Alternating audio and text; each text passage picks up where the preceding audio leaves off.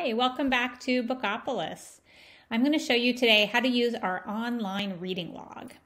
So when you're logged into Bookopolis, you'll see a button up here that says reading log. And this is where we're going to track all of our minutes and pages read. So to start, I'm going to make sure I have books on my Reading It Now page. So I'm going to use the search. It can be this search bar, this search bar up here, or quick actions add to my books. So I'm going to put in a book. I'm reading The One and Only Ivan, which I really love. And so I'm going to add it to my books. And remember, we have three shelves books I've read, books I'm reading now, and books I want to read. So to put it on a reading log, it has to be on our Reading It Now shelf. So I add it here, and now I'm going to hit save and go to Update Reading Log. So now I can hit Add an Entry and then select a book. Now notice on these fields, some have an asterisk next to them. That means you have to fill that field out to be able to save your reading log entry. If it doesn't have an asterisk, it's just optional. So for select a book, I can now see I have one and only Ivan on my shelf. So I'm going to put that in and I'm going to add a genre that this is a realistic fiction book.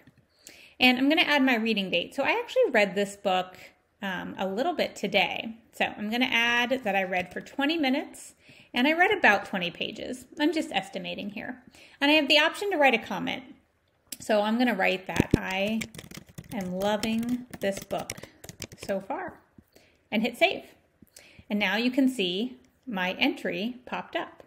And if I ever want to go back and edit it, maybe I put the genre wrong or maybe I want to add to my comment, I can just click edit. Now I'm going to add another entry straight from here because I have another book that I am reading also that's already on my Reading It Now shelf and it pops up. You see Keeper of the Lost Cities. So I'm going to go back and I actually read that last week, last on Saturday, a couple days ago. So I'm going to add here and I'm going to add that I read for 30 minutes and about 20 pages. This one's a little bit harder book. And I'm going to hit save. Now, if I want to see how many minutes I've read so far this month. I can put in a date range here, click show me, and check it out. I have already read 155 minutes this week and 135 pages, so that's kind of fun. I also see that information here on my progress bar on the left side page.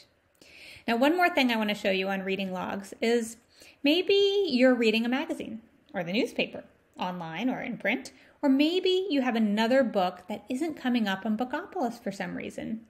Maybe it's a grown up book like War and Peace. So I'm going to write War and Peace here.